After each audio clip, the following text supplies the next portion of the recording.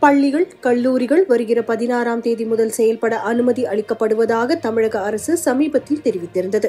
பள்ளிகளை பொறுத்தவரையில் ஒன்பது பத்து பதினொன்று பன்னிரெண்டாம் வகுப்பு மாணவர்களுக்கு மட்டும் வகுப்புகள் செயல்படும் என்று கூறப்பட்டிருந்தது. இதற்கு எதிர்க்கட்சித் தலைவர் மு க ஸ்டாலின் உள்பட அரசியல் கட்சி தலைவர்கள் கல்வியாளர்கள் பெற்றோர் எதிர்ப்பு தெரிவித்ததோடு பள்ளிகள் கல்லூரிகள் திறப்பை தள்ளி வைக்க வேண்டும் என்று கோரிக்கையும் விடுத்தனர். இது தொடர்பாக பள்ளிகளில் பெற்றோரிடம் நேற்று கருத்துகளும் கேட்கப்பட்டன.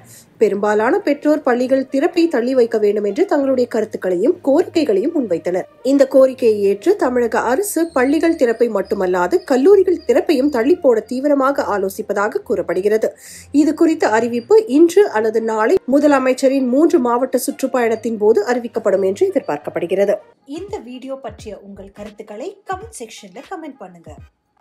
எங்க வீடியோ உங்களுக்கு உடனே வரணும்னா பெல் ஐகானை மறக்காம கிளிக் பண்ணுங்க.